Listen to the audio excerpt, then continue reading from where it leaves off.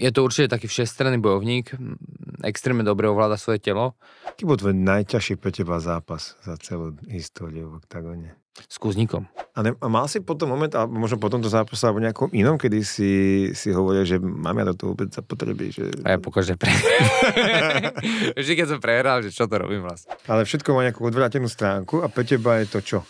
Že my sme platení jak reperi. Vieš, že urobím výkon, dostanem za to výplatu. Vždy, vždy som Slovák, všade, kde som, tak väčšinou ja naučím všetkých ostatných rozprávať po slovensky, jak mňa anglicky.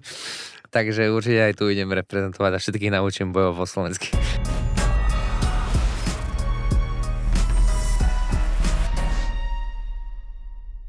Tento podcast nahrávame v štúdiu podcaster www.sk, ktorý sa nachádza v Bratislave na Greslingovej ulici v krásnom umeleckom priestore Artelier, ktorý je tu rovno za dverami, kam môžete prísť, malovať, dať si dobrý drink, koktejl a vychutnať si to na teraske, ktorá je tu vonku prostred mesta. Takže z tohto nádherného miesta vysielame aj ďalšiu epizódu. Vítajte pri sledovaní a počúvaní. Vítajte pri sledovaní a počúvaní ďalšej epizódy Nerudacastu. Tentokrát Nerudacast špeciál o oktagone, pretože nikto iný dneska nie je host ako Ronny Paradiser. Ahoj. Ahojte, zdravím všetkých fanúšikov bojových športov. Ronny Paradiser, bojovník oktagone MMA, slovenský vlastne dneska už žijúca legenda pomaly, ale v prvom rade niekto, kto za Slovensko bude bojovať v druhej sezóne Tip Sport Game Changeru miliónovej pyramíde, v Lige majstrov MMA, ako sme ju nazvali. A pokúsiš sa prebojovať sa cez najlepších bojovníkov u ľahkej váhy v Európe, aby si získal 300 tisíc eur na konci. Jak ti to znie, tieto slova? Znie, znie to výborne a veľmi sa to teším.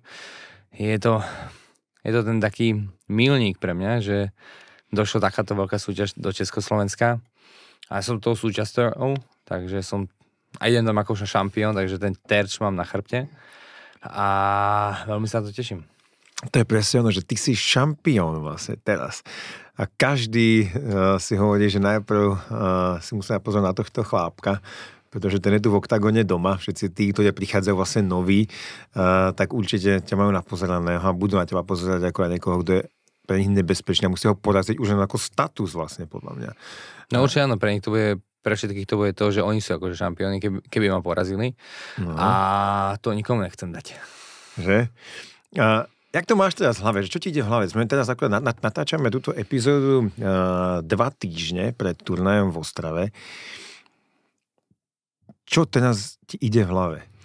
Vieš čo, do, dobre sa cítim dneska, lebo mal som takú ťažkú prípravu, všetko keby na mňa dolahlo po tom titulovom zápase, že sa tak uvoľnil, ten stres opadol, mm. takže všetky možné zranenia sa mi obnovili.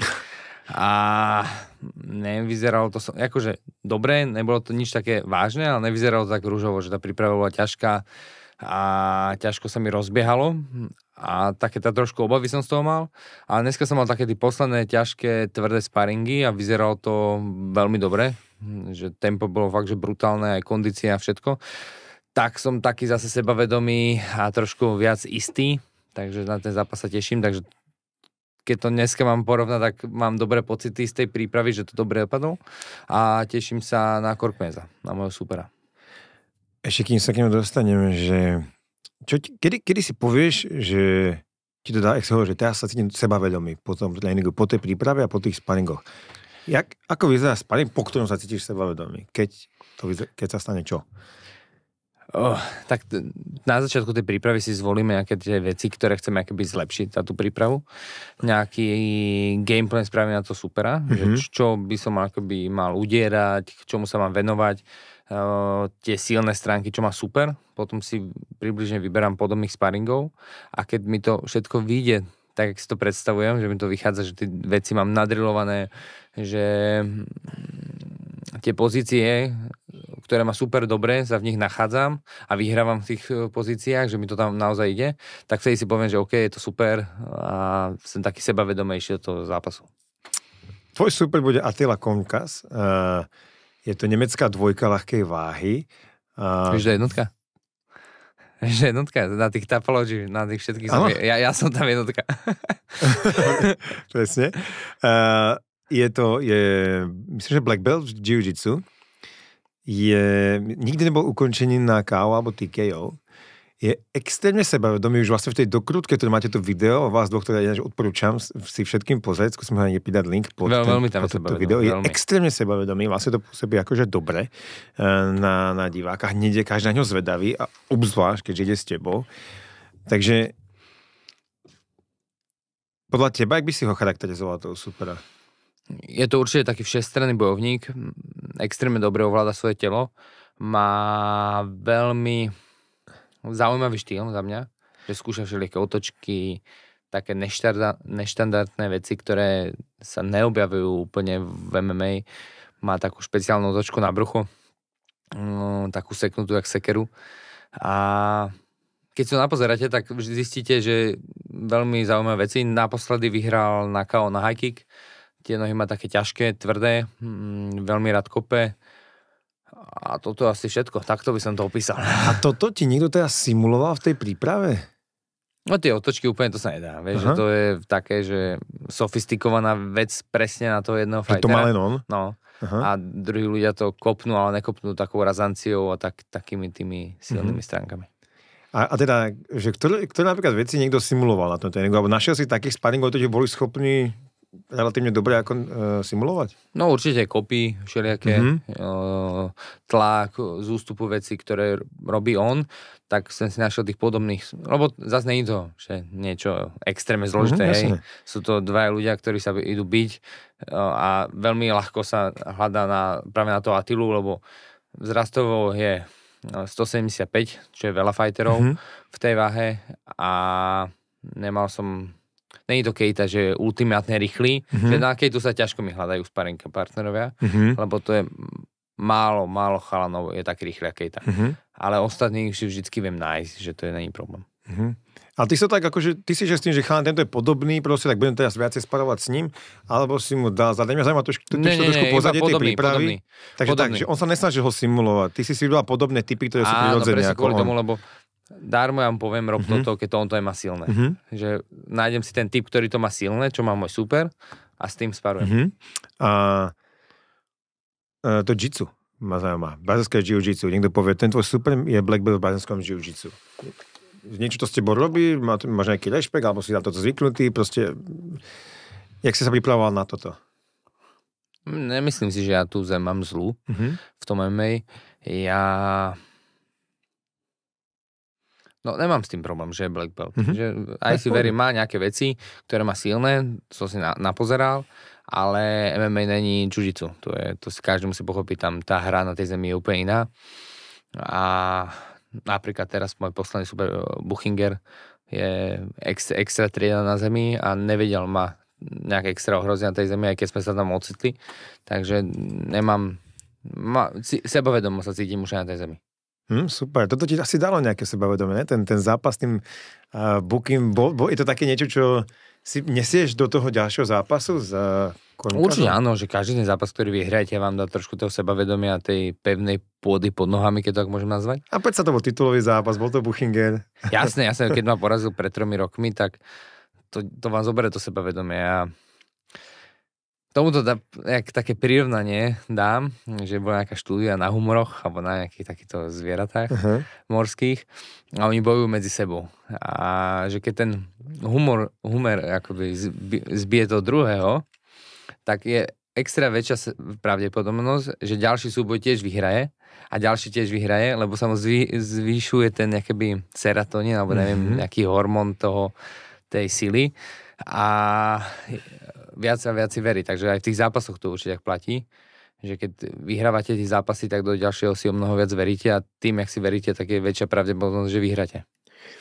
Čo si myslíš, že je uh, tvoja silná stránka? To, to, a naopak, tá, že čo bude tá tvoja zbraň? Čo je tá tvoja silná, čo sú jeho slabé stránky? Tak určite nie som tak kreatívny ako on. on mm-hmm. To je jeho určite najsilnejšia stránka. Ale myslím si, že všetky ostatné sú v môj prospech. Som vyšší, mm, podľa mňa budem silnejší a celkovo tie fyzické predpoklady sú na mojej strane. Takže určite to. A jeho slabiny vidíš kde? Nemôžem všetko prezrieť, niekto mu to okay. pre, pre, Jasne, ne, to úplne preložia, no jasne. No. Ale že... Akože ja poviem také všeobecné, ale Skús, no, nech, všeobecné. Nech, nechcem ísť úplne do detailov, že hovorí, že ten, ten budem uderať tento, tento Skús, úder, chápeš? takto, že máš nejaké špecifické, nemusíš povedať ktoré, ale povedz, áno, nie, áno, ktoré vyslovene vidíš, to sú diery v jeho... Určite áno, určite áno. To a sme, máme nachystané a to sme robili a dneska z paringu to vychádzalo, takže som spokojný. Super. A také, čo môžeš povedať, také všeobecné sú? také nižší, vieš, ja som vyšší, takže mám väčší dosah rúk, dokážem viac boxovať na diálku a to je také všeobecné. OK. A to jeho sebavedomie je také docela ako aspoň to je z tej videodokliky, to fakt to akože pôsobil taký hodne akože si Až ma prekvapil. Prekvapil ma, keď som videl tú video do krutku, že... sa chcem opýtať, že pôsobí to na teba nejako, alebo... Alebo opýtam sa možno inak, že... No áno, ako to na teba pôsobí? Že, a potom, jak sa s tým snažíš pracovať? Prípadne. Snažím sa to nejak oddeliť, tieto veci, že to uh-huh. není úplne podstatné, čo on sa rozpráva, uh-huh. že stále to je nejaký ten trash talk, či, či to bolo... Niekedy to MMA malo o mnoho väčší vplyv, uh-huh. čím som akoby starší, tak som sa nejak vyzrel v tom MMA a už mi to nerobí toľko. A sústredím sa vlastne na, na tú hru iba, že čo bude v tom zápase, lebo tieto všetky veci okolo sú pekné, síce to pôsobí, je to nejaká hra, Jasne, no. je to nejaká to psychologická, súčasť je to súčasť toho, ale stále to nerobí ten zápas. Takže sústre, sústredujem sa na ten zápas, na tie jednotlivé veci, čo chcem robiť a to okolo je iba také krovie. Ty máš nejakého mentálneho kauča? Um, vieš čo, rád si akože pokecam s niekým, uh-huh. ale s nikým nerobím tak, že že dlho a keby mm, stále. Že nemáš niekoho, kto by ti nastavoval hlavu, to tak poviem, alebo... Nemám to úplne rád, že aj som mm-hmm. zbavil chalanmi niektorými a tiež to nemajú úplne radi, že, že stále. Ja mám rád, keď pobavím sa, mám nejaký problém vnútorný, potrebujem to vyriešiť, niekedy to není ani mentálny coach, že netreba to riešiť s mentálnym coachom, ale psychologom. Vieš, že to sú nejaké veci z detstva, iné veci, že musíte sa nastaviť, aby ste byli mm, vo všetkých aspektoch, keby čo najviac k dokonalosti zameraný. Takže keď som mal nejaké veci, čo som potreboval vyriešiť, tak som to riešil aj, aj inak. Ale chodil som k Jelinkovi, u ňo som bol párkrát, Jelinek mm-hmm. koučova Jagra. Mm-hmm. A ten mi povedal veľa vecí, čo Hm, čo som aj zmenil. Uh-huh. A jak som zmenil, tak sa to zlepšilo. A tie, a tie veci už nerobím, už sa mi to neopakuje. Ale jediné, čo robím, že pravidelne na to, aby som mal dobrú hlavu, je, že každý večer naozaj, že 15 minút meditujem, uh-huh. že to robím vždy. A keď mám akože blízko k zápasu, tak aj ráno, ale niekedy to skracujem na 10, lebo ten, uh-huh. tiež mám dve deti, takže doma je krik ráno. Ale večer fakt sa snažím vždy meditovať. A jak napríklad to zaujíma, že Jak, jakú formu? Ja mám... Mhm. Ja sa snažím, robím také dve, mám veci, že robím také dýchové cvičenia uh-huh. a potom sú čisto tie meditácie, že sa sústredím na, na ten dých. Na dých sa sústredím. No, ale keby som to mal, že ozrejmiť, ozrejmiť ľuďom, tak nechcem predstavu, že to je dokonalé, že niekedy si sadnem a plánujem si druhý deň, proste nedá mi to hlava. Ne, tak to je, preto sa na to pýtam, že ja tiež akože každé ráno meditujem nejakých 10-15 minút, potom tak mi vyjde. A tiež, že ti uchádzajú tie myšlienky, no. sa proste snažíš to čo najviac zladiť, ale že je to inak. No preto sa, že sa snažíš, že mi poradíš možno nejaký dobrú, dobrú metódu. No ja jedine, čo sa mm-hmm. naozaj snažím, je nechať tú hlavu, nech sa nejak vyčistí. Ja si vždy predstavujem nejak, nejakú, nejaké jazero a že ten kál hore treba odstrániť zo tie myšlienky, tie plánovacie mm-hmm. veci, veci, veci, čo každý v živote rieši a potom pod tým je tá, tá hĺbšia vrstva ale k tomu, preto musím meditovať 15 a niekedy si to dám, keď to potrebujem, tak si dám aj 20-30 minút a tam sa mm-hmm. už mhm. dostanem do tej meditácie, že už naozaj e, sobnú a viem, že už tam je iba ten dých a ten fokus. Mm-hmm. A za tých 15 minút to je také iba také, že pravidelné, aby to bolo pravidelné, mm-hmm. lebo mhm. nedokážem každý deň meditovať 30 minút, že to mm-hmm. proste je náročné pre mňa. Myslíš, že badáš nejakú zmenu? To ma zaujímalo, že odkedy si začal meditovať, že myslíš si, že niečo inak v tvojom živote vďaka tomu? Alebo v tvojich zápasoch? Podľa všetko. Veľa vecí. Ale ja tú zmenu akoby nebadám. Ja, že uh-huh. až keď prestanem napríklad, vieš, že niekedy po zápase si dám dva týždne kľúče, ruka hore, tak vtedy poznám tú zmenu, že som nervóznejší, tá hlava není taká, taká čistá. Ten stres je pre mňa o mnoho väčší zrazu, že deti kričia, um, žena niečo potrebuje, uh-huh. do roboty niečo spraviť. Hen, vieš, že strašne veľa vecí a je to pre mňa zrazu náročnejšie um, s takým ľahkosťou robiť. Takže v tejto poznám, že nemeditujem, že aj sakra, rovný, začni to robiť. Zaujímavé. Ako super, ja tu vám musím povedať tiež, že to s meditáciou je také, že vlastne to úplne neviem ani popísať. Obral som sa. že s tou meditáciou to ja neviem vlastne popísať úplne presne, že čo sa deje, ale cítim sa inak. Jednoducho, keď to robím pravidelne, tak áno, že nejak všetko je nejak viac in ordnung, že dokážem lepšie handlovať veci, cítim sa celkom nejak spokojnejšie, ale vlastne to neviem ani úplne uchopiť, že keď sa ma popíš, popýtaš, čo je vlastne inak, úplne to neviem povedať, ale áno, že má to fakt definitívne výhody, ale zaujímavé, že ty to vlastne zintenzívneš smerom k tomu zápasu. Že... No pre mňa to má takú hlavne veľkú Aha. výhodu, že zrazu mm, v tej meditácii viac ste so sebou, že s tým mhm. vnútorným duchom, tou intuíciou, tak, intuíciou a mm-hmm. tá intuícia podľa mňa v živote je úplne taká dôležitá, že vám človek, tá intuícia vám povie, čo máte robiť v tom živote, kam máte smerovať. Alebo v tom zápase, čo máš robiť. To je druhá vec. Ale to je, to zase potom, keď už mám zápas, no napríklad to som zabudol povedať, že ja si robím, že tú meditáciu, to je, že pravidelne večer a ráno si potom robím vizualizáciu na zápas. Uh-huh. To robím posledné dva týždne, že začnem teraz nedelu to robiť. Uh-huh. A to si vizualujem už ty, presne tie detaily toho zápasu, že čo chcem robiť. A ako ja si myslím, že vizualizácia je úplne brutálne silný nástroj na čokoľvek, čo chce človek v živote dosiahnuť.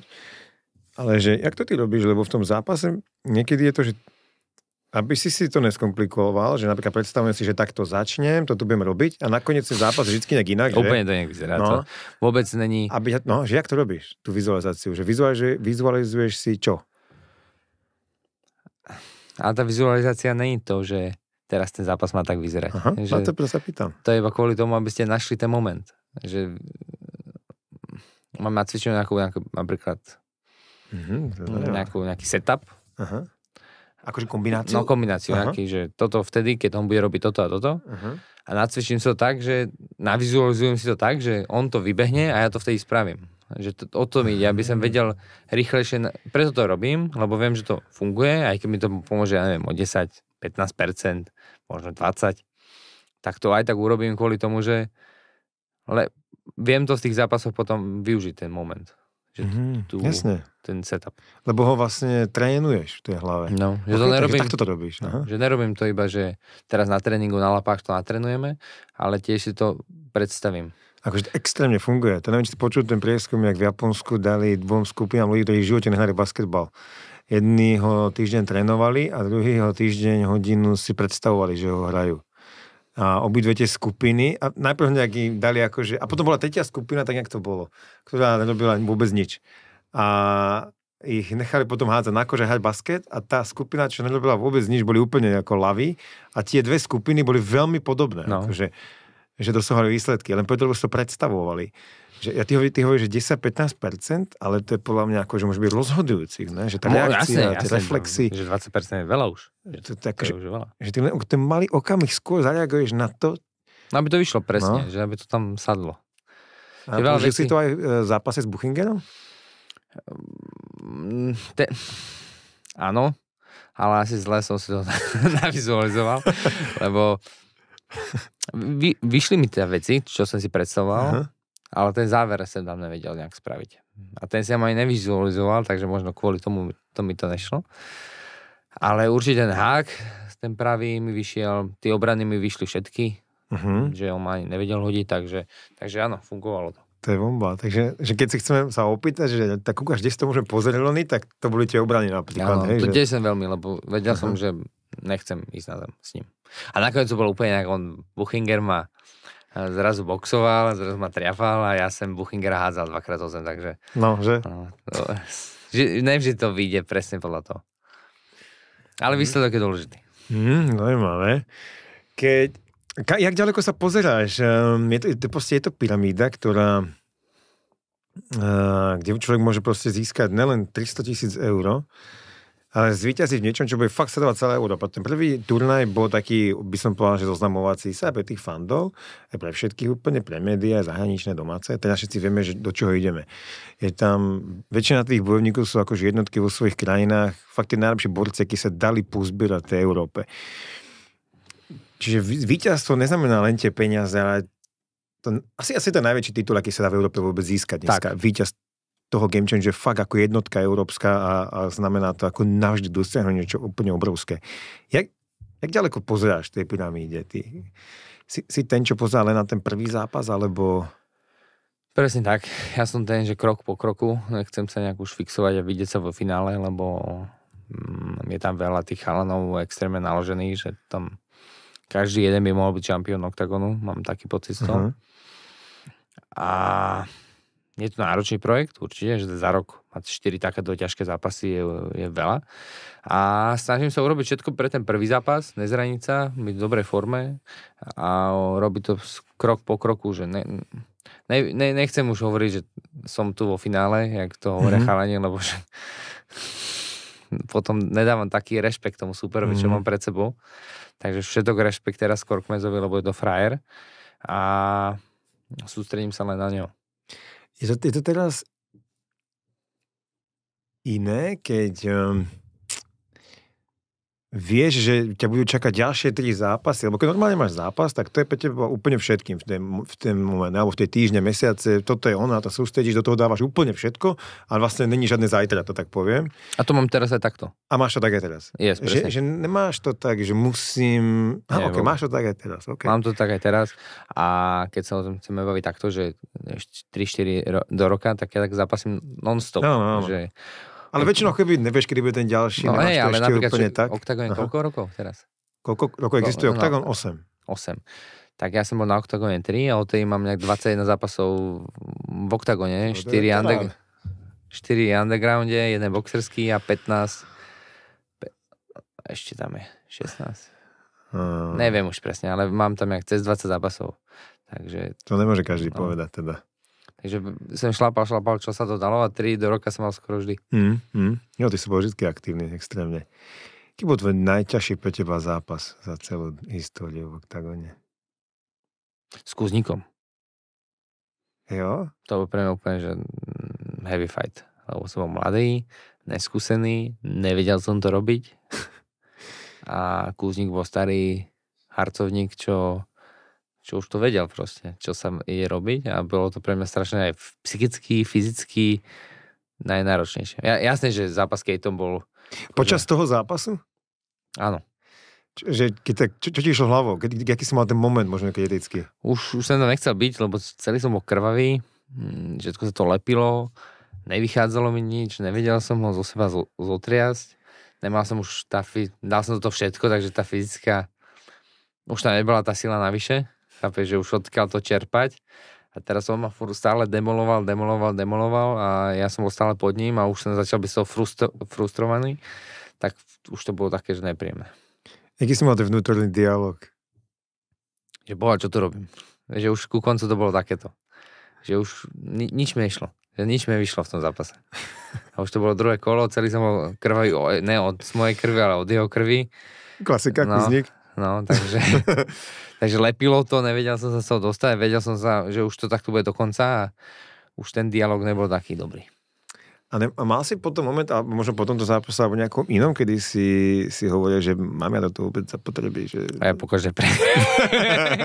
Vždy, keď som prehral, že čo to robím vlastne. Hey. No, ale chvála Bohu, tých prehien nebolo tak veľa a a vždy som našiel tú vnútornú motiváciu, aby som to robil, aby, lebo ma to baví ten šport extrémne. Ja neviem si predstaviť, že by som robil niečo iné. Ja som na tom závislý na tom športe, ja dva týždne si oddych a už potrebujem ten tréning, potrebujem sa zlepšovať, potrebujem to robiť. Takže sám neviem, čo ešte že po kariére, že keby som skončil, že čo by so mnou bolo lebo je to návykové, že potrebujeme aj adrenalín, aj ten, ten zápasové tempo, že teraz máte nejakú tú prekážku pred sebou, mm, na čo sa sústredíte a potrebujete mm, urobiť čo najlepší výkon, tak na tom som závislý na tom pocite. A plus tí fanúšikovia, tí ľudia, že tam je tých 20 tisíc ľudí v tej arene, hoci kedy, tak je to návykové, to potrebujete. čo ja som introvert a mám rád pokoj doma, kľud, ľudí iba svitka, svojich ľudí, ale na tom momente, v tom nástupe, v tom fajte som závislý a to proste potrebujem. To je zaujímavé. Ináč, to je presne hovoríš, ty si introvert, ja ťa vlastne prvýkrát počujem o tom takto hovoriť. No. Takže, to, a, ale čo, čo to je? Čo myslíš, že je to vnútorná ten, tá, tá vec, čo ťa poháňa? Lebo ja si pamätám, že my sa poznáme o tej amatérskej ligy vlastne, keď, keď ešte na Sleme si mal zápasy. A už vtedy som si hovoril, že ty že tento chalan sa úplne vymýka všetkým ostatným, čo sú tu. Že, že možno tým, že si ten introvert, že si pôsobíš nejak inak, že ty som ten chalan, som si myslel, že tento bude študovať, neviem. Hey, no, ITčkar. No, že ITčkar, ITčkar, čo to robí proste? E, že čo, čo, čo, čo tam robíš? Čo, čo je tá vnútorná vec, čo ťa, že nie, možno aj od tých prvých dní, že, že No mňa ten šport toto. naplnil strašne, lebo je to extrémne komplexný šport. Je to šport, kde stojíte sám za seba. Je to šport, kde mm, nikto nemôže za to, že prehráte, iba vy sám. Takže všetka zodpovednosť je na vás a aj to ma extrémne baví, že je to na mne, musím sa sústrediť, musím ja urobiť všetko dobré, musím každý detail vyšpičkovať a to, to ma na tom baví. To je tá, akoby, to najviac. Ja. Plus tá atmosféra, že to, to každému by som doprial, aby zažil to víťazstvo v tej aréne. Jasné, že, že... Je to kombinácia čoho všetkého? No ty to vieš pred lebo tam stojíš tej no, aréne. Ne, ako chcem povedať, že iné, že lebo ja sa snažím predstaviť z pohľadu toho bojovníka, že a ty to môže mať doplň, že, ja, že si celé mesiace teda trénoval. Vlastne ako celý život, ale konkrétne na ten západ, zápas celé mesiace. Si ho to vložil toľko energie, to je ako keď niekto z bežného života si chce predstaviť, že napríklad sa učí niekto na štátnice. Hej, on, že, hej. že koľko si do toho dal času, Alebo chce zabehnúť maratón. Alebo, hej, zabehol si maratón, alebo proste nejaký iný veľkú vec a potom to zvládneš a teraz ten pocit, že to, tá škadrina vlastne sa predstavila v takýto úspech. Ale v tvojom prípade už v oktagóne je to tak, že ty tam je 20 tisíc ľudí, ktorí, tá energia je úplne neskutočná. No, Oni všetci pozerajú na teba a plus si niekoho poviem to tak, Prekonal, ako, že zbil. Proste zbil. No. Akože, a ja viem, že nejako, že hey, aby sme to povedali, že pre ľudí, ale, že, že no. prekonali ste niekoho. Áno, že, že si ho prekonal a v takej hodne surovej vlastne podobe, no, že, čistej, že si ho dominoval vlastne. Tak, no. Áno, a v tom je to MMA vlastne má ten extra sex, že proste ty niekoho jak tam, tam povie, v takej tej Áno, ja viem. najčistejšej forme ho porazíš v, v tejto disciplíne a to znamená, že, že si ho vlastne zbil. Áno, presne, že stojíte chlap voči chlapa, chlapovi, no. teraz si tam stojíte a 20 tisíc ľudí sa pozera, kto z vás vyhra. Že je to taký abnormálny tlak, že na toho zápasníka a na tom, na tom ste potom závislí, že to chcete urobiť, že stojíte tam dvaja a iba jeden z vás môže vyhrať. Nemôže vyhrať nikto iný, nemôže sa nič iné pokaziť, musíte proste iba prekonať toho druhého a do toho to je iba bitka na diskotéke, vieš, už to je také si myslím. Ja som sa v živote vonku nebyl, ale myslím si, že také, že pozerajú sa tam všetci kamoši, či vyhráte alebo prehráte, že už to je tlak, mm-hmm. ale teraz to je šport, je to na úrovni, má to všetko možné a teraz je tých 20 tisíc ľudí, že to je abnormálny super pocit, keď sa vám to podarí a to MMA je v tomto najkrajšie, že hm, že je to najčistejší šport, že proste tam nie, nie sú žiadne fauly, rozhodcanie, no nie, to Ale môže, len minimálne. Jasne. Minimálne a ten stojíte, to je proste na vás. Že nič iné, nikto iný vám to nemôže pokaziť, iba vy sám. Hmm. Nejak, vieš, čo som rozmýšľal teraz?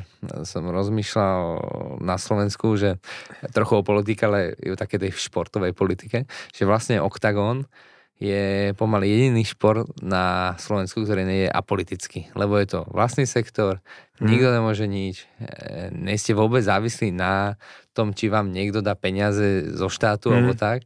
A že to je vlastne úplne super, že ja som to strašne rád. Že? No. Lebo ja mám napríklad kamošku alebo trénerku, ktorá je e, vo zväze ako v atletickom a je strašne závislá na všetkých možných veciach, čo ja ja mám úplne šťastie, lebo ja nie som závislý, som závislý na tom, že aby som predvádzal dobre výkony a keď ich predvádzam, tak som aj dobre platený, že to mm. je úplne parada super. Že? No, ako vlastne to je to podľa mňa, že keď uh, nemáš práve tú podporu zvonku, lebo oni čakajú ťa všetky zväzy, dajte nám peniaze a keď nám nedajú, no tak táto sezóna bude slabá a nedáme do mládeže toľko a jedno s druhým nebudú novšie štadióny. Ale keď to proste nemáš, musíš si pomôcť sám.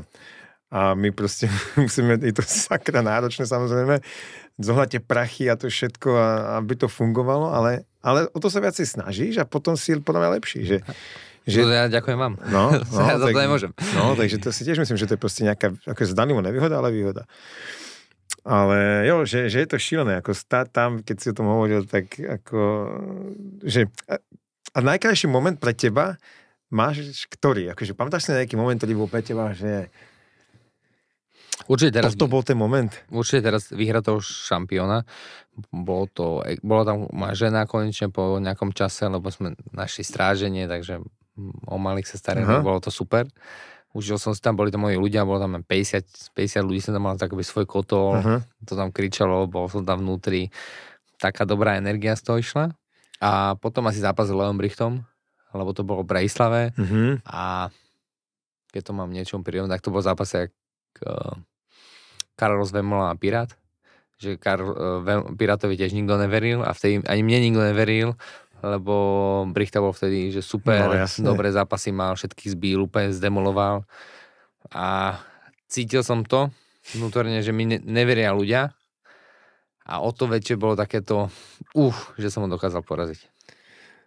Čo sa zmenilo, že ty si, alebo ja to možno zo svojho pohľadu poviem, že ty si mal také výkony, také, že nahoru dolu, že väčšinou si akože väčšina výher, ale bolo to také, že taká, taká bola kostrbatá tá cesta ale zrazu sa to nejak zmenilo. Ja mám pocit, že si akože, že to iný Rony za poslední dva roky, rok, dva. A čo sa zmenilo? Mm, začal som chodiť do toho Ankosu. Uh-huh. Je to veľký svetový gym, kde sa pripravujú chalani z UFC, pripravujú sa tam, sú tam tie svetové skúsenosti uh-huh. tých bojovníkov. A je tam tréner Andrzej Ko- Koštielský. Koštielský. A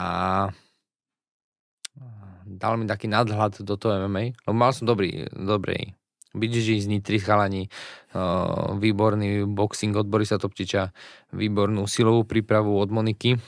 A teraz sa to ešte spojilo s tým mm-hmm. Ankosom, že tam sú tie svetové skúsenosti v tom mma Nerobím, už, už robím o mnoho menej chýb mm-hmm. v tých zápasoch. A myslím si, že toto je ten najväčší rozdiel. Mm-hmm. Že to, tam to cítim. OK, lebo je to vidieť, je to vidieť, že akože je to už iný Rony, no, za nejakú A spárujem s chalanmi, ktorí sú fakt dobrí, že je to, svetová no, úroveň. No, svetová úroveň. Mm.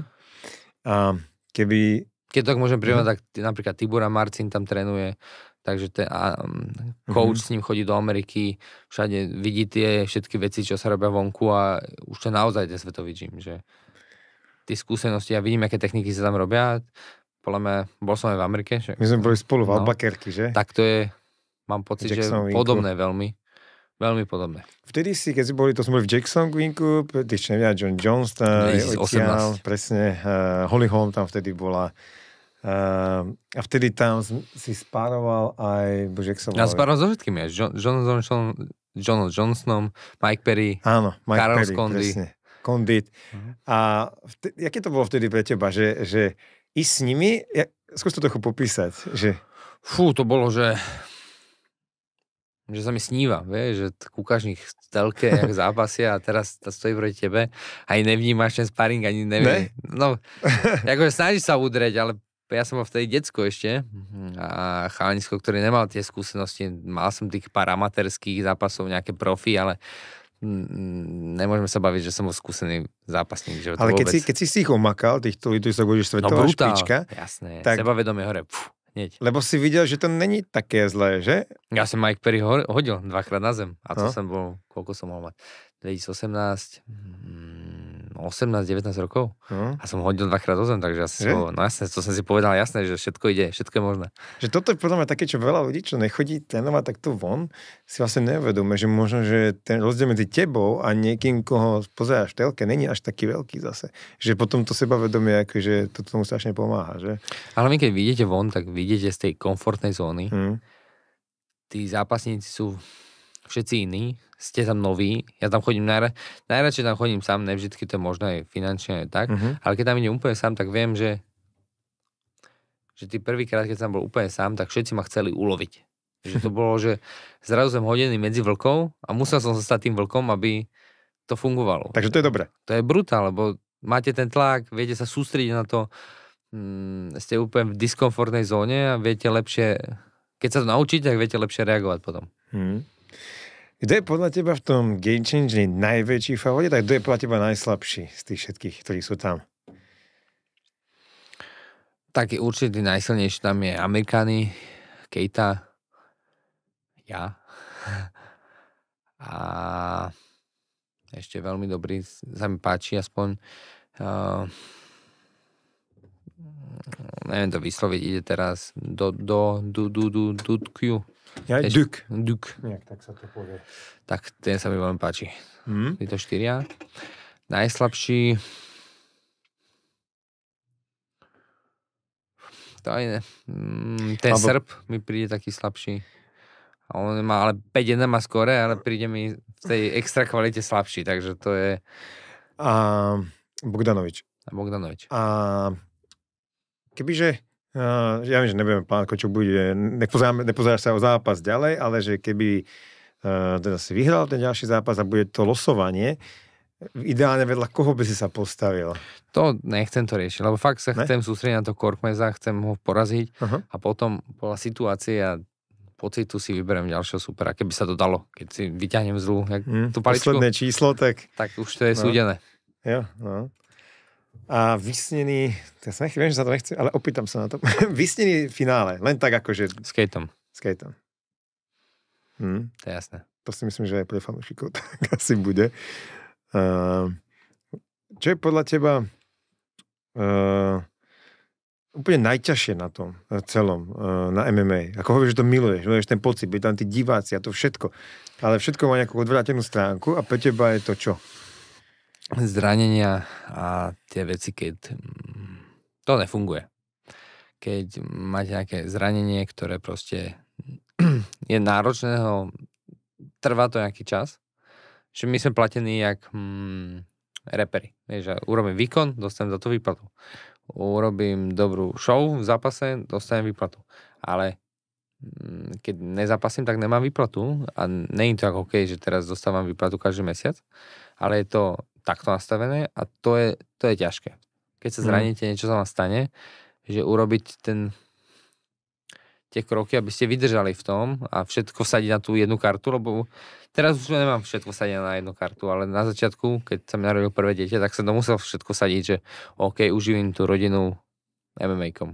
A to nebolo úplne najľahšie mm. sa takto rozhodnúť a nerobiť popri tom milión súkromiek a milión vecí, aby lebo keď začnete robiť tie súkromky a začnete robiť tie money inými spôsobmi, tak ťažko sa vám už sústredí tá plná pozornosť a ten plný fokus na to MMA. A keď to neurobíte, že sa nesústredíte celý ten svoj fokus do toho MMA, tak, tak nebudete najlepší. A ty si povedal, že teraz už uh, to nevsadáš na jednu kartu? No tak už teraz mám nejakých sponzorov, už by ma to, už by som vydržal nejakú chvíľku. Uh-huh, okay. Hej, že už by som sa vyliečil z toho zranenia. Uh-huh. Ale keď som začínal, tak uh, od tých sponzorov, od tých vecí by mi to nezabezpečilo rodinu na pol roka, že ja som musel zápasiť stále. Uh-huh. Uh, máš nejaký vysnený uh, že miesto, alebo aký máš najväčší zápas vo svojej hlave, aký by si chcel uh, absolvovať? A som asi 18 ročný a písal som si taký ten motivačný uh-huh. denník, že jak si plánujem svoju budúcnosť a bolo tam Square Garden, tam som si napísal, že tam by som chcel mať zápas niekedy v New Yorku. OK, takže Michal Pavel, prosím ťa, zistí termíny v Madison Square Garden. No, tak, Na ďalší rok. Tam, tam, to by som chcel niekedy zažiť, že by som tam mal zápas. A futbalový štadión ti nestačí? Ale vieš, že opýtal si sa ma. Ne, ne, ne, ja sa jasne, v pohode. Tak, ne, je to, je to ultimátne, je to hala, je to jedna, hala hal, no, tak. Je akože na, na najlepšie na svete. No. Že nikde ide viac nemôže mať zápas. Jedine 8.6. vedenie. No kde budú zápasy akože Jasne, game počkej. changeru, takže to je úplne reálne, že môžeš zápasy pre 27 tisíc ľuďmi v tom jedene. A ja, že ja ti poviem, že ja som stál v rohu futbalového štadióna ja som nikdy, počkaj, ja som v živote nebol na fotbalovom zápase na tribúne. Raz som robil korytnačku, že dole som Aha. stál v tráve, ale ja som v živote nebol na fotbalovom štadióne. Hm. A tak to si než, to potom predtým Bol, sorry, keby Klementia, natáčali sme na tých spor reklamu, ale na nejakej, že na zápase. na zápase. To ti fakt odporúčam potom ísť, aby náhodou si teda postupil, že uh, si to navnímať, navizualizovať. Lebo ja som stal v rohu futbalového štadióna uh, na tehelnom poli, keď sme sa rozhodovali, či to náhodou bude na tehelku alebo na jedene.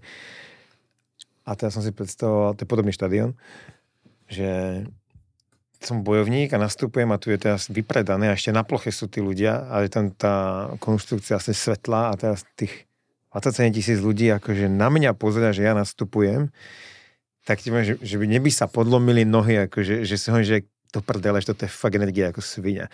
Takže to si radšej choď navnímať, aby ťa to nezožralo, keby náhodou.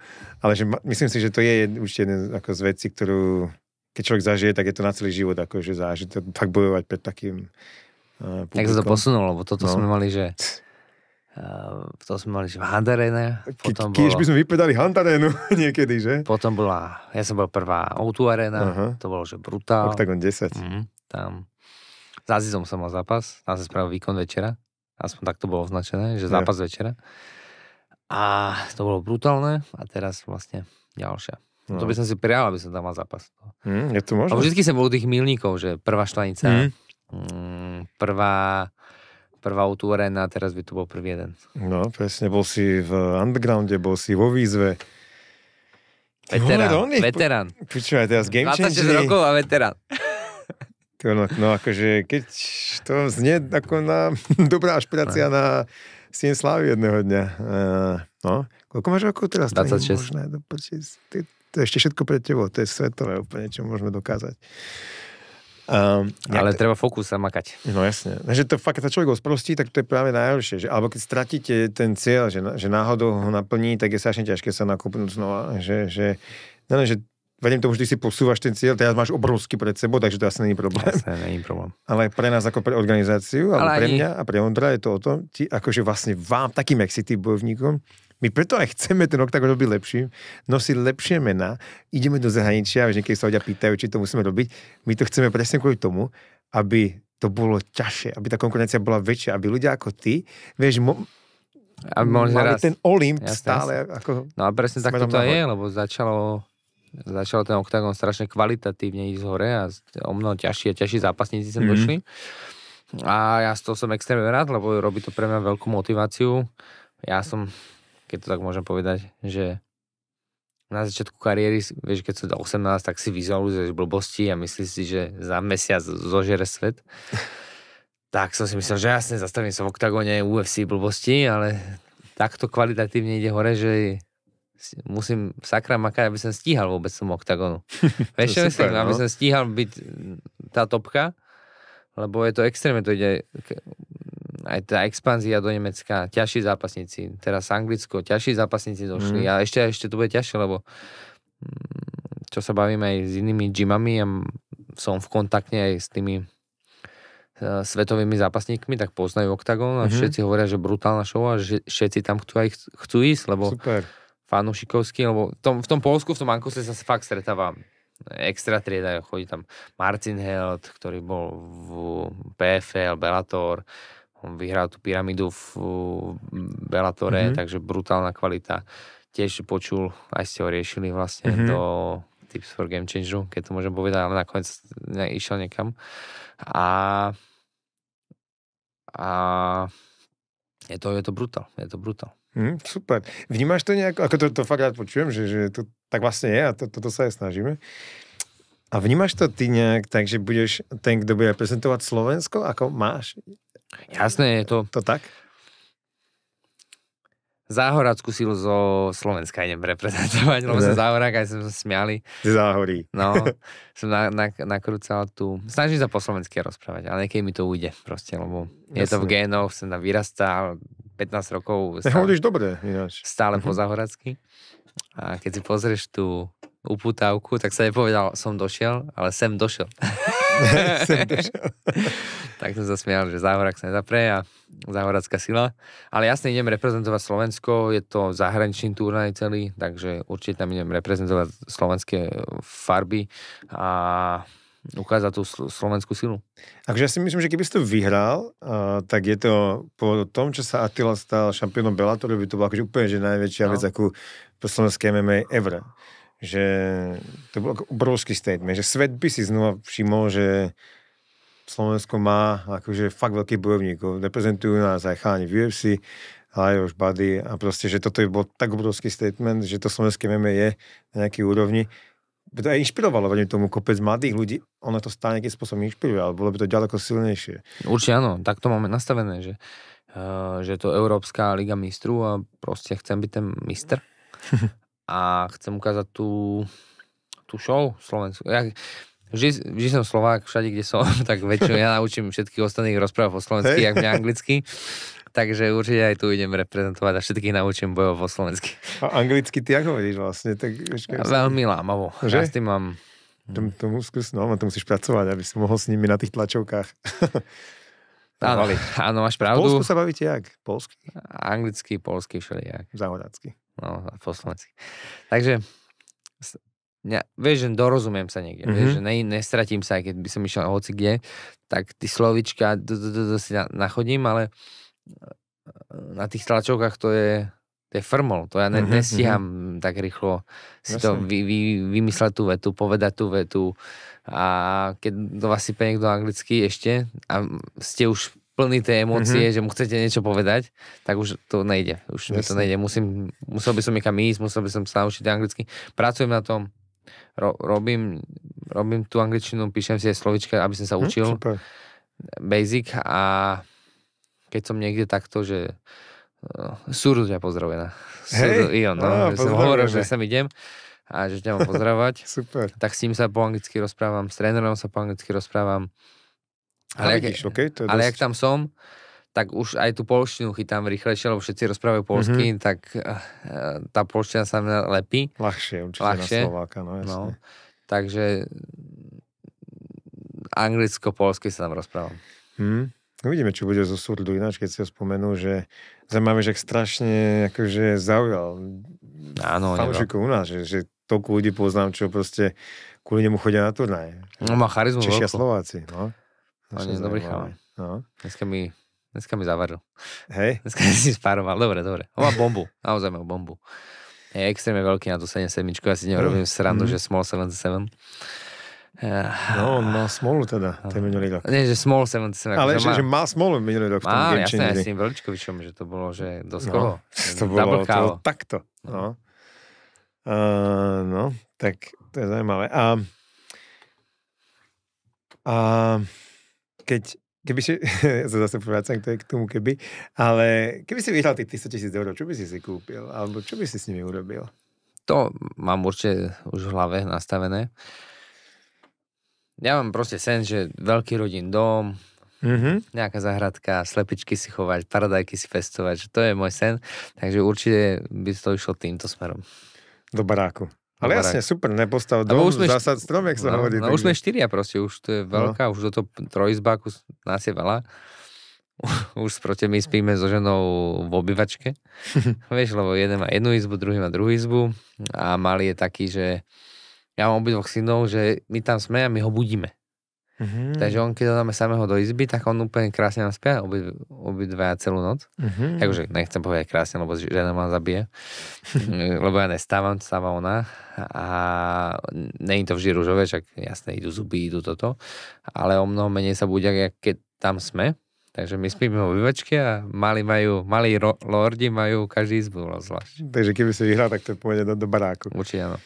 A keby sme si otvorili uh, telefón akože Ronnyho Paradajsera a sociálne siete a správy, fanúšikovia, aký, aký, aký je, máš ty vzťah s fanúšikmi aj?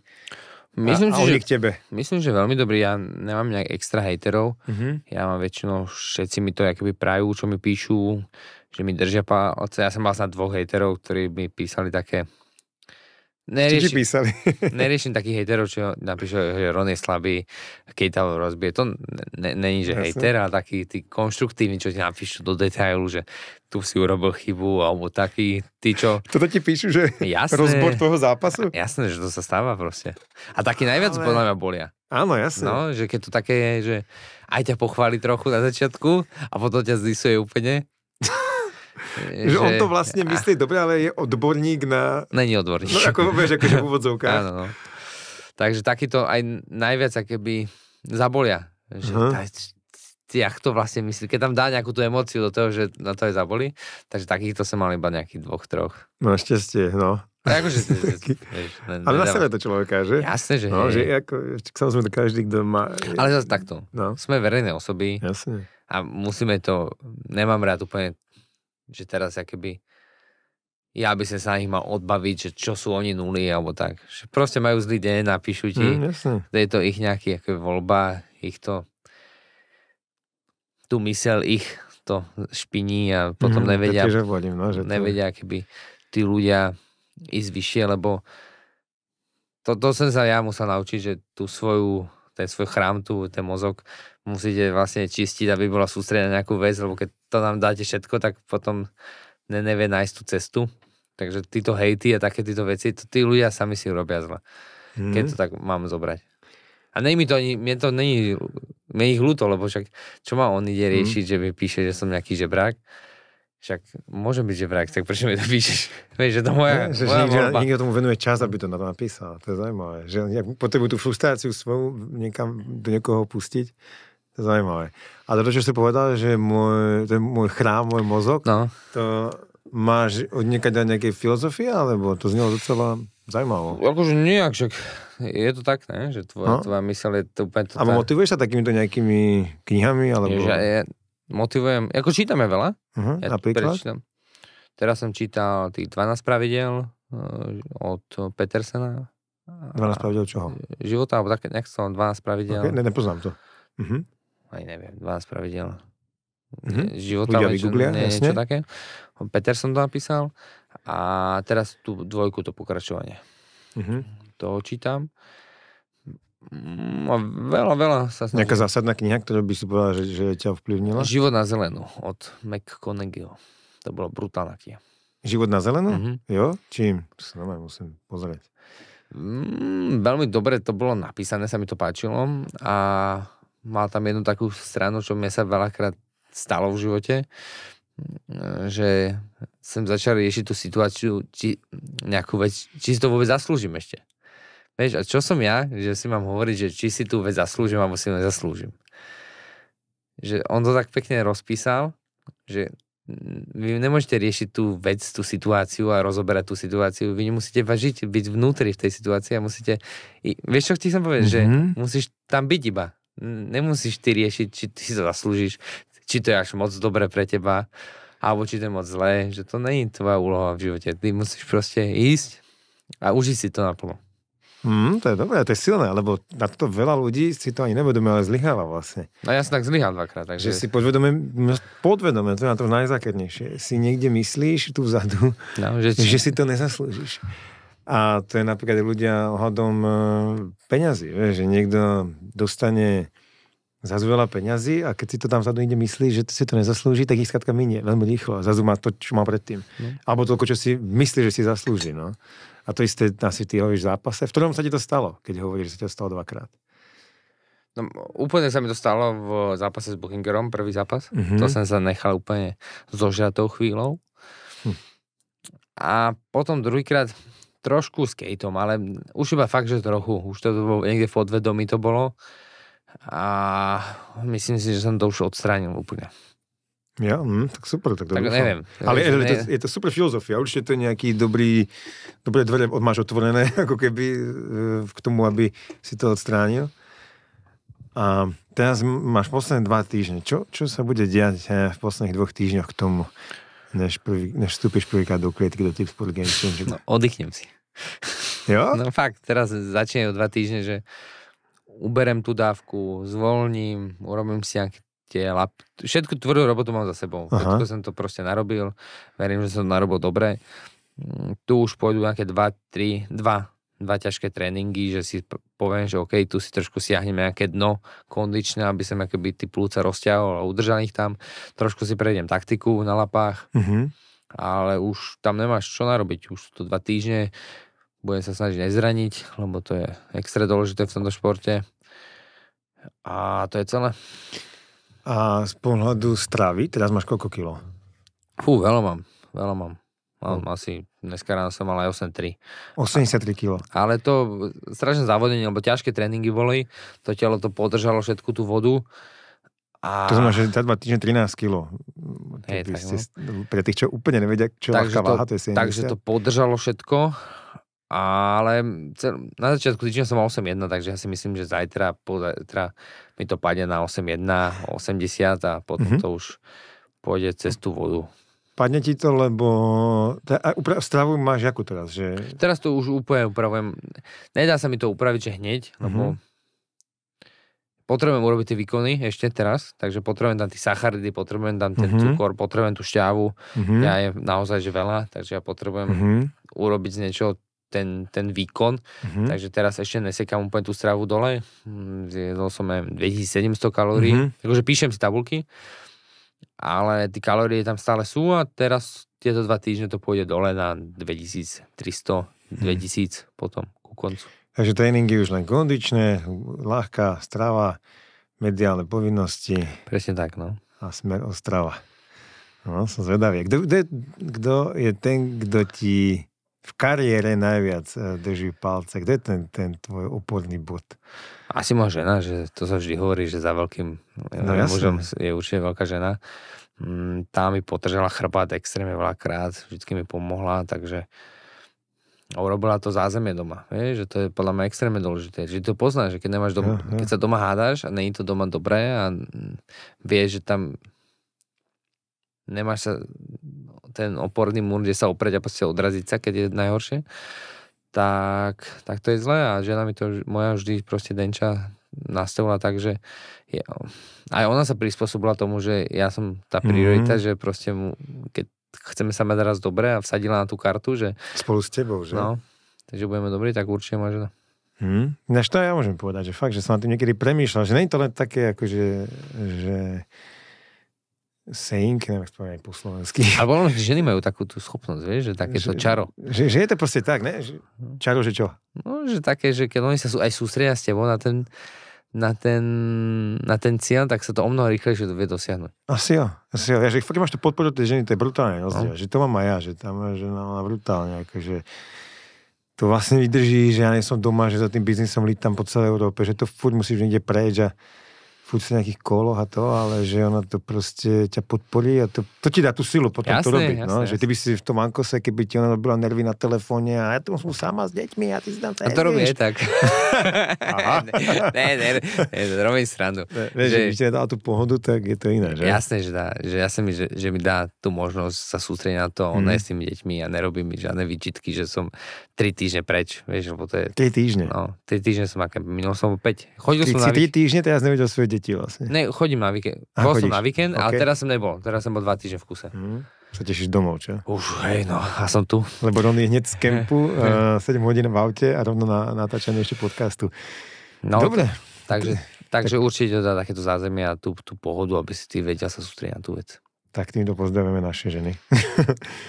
A ďakujeme za všetko. Tak ja ti ďakujem, nebudem ťa zdržať, aby od tvojej rodiny a oddychu a to všetko, čo ťa čaká. Držím ti strašne moc palce. No, ďakujem, fakt, že, ja to tak vnímam, že je to vrchol tej mojej kariéry teraz. Že ja tak... je to momentálny no. vrchol, za ním bude ďalší zase, lebo takto proste máme a ja som strašne akože uh, goal driven, alebo teda zameraný na cieľ, takže my tú laťku stále dvíhame a, a bude ďalší ale teraz si držím palce, aby si dosiahol tento, že vyhrať to by bolo fakt úplne e, neskutočná story, že to teda by si pomoc zaslúžil a potom neskôr verím tomu, že raz uh, dobrý dokument niekde na Netflixe o, o takomto príbehu.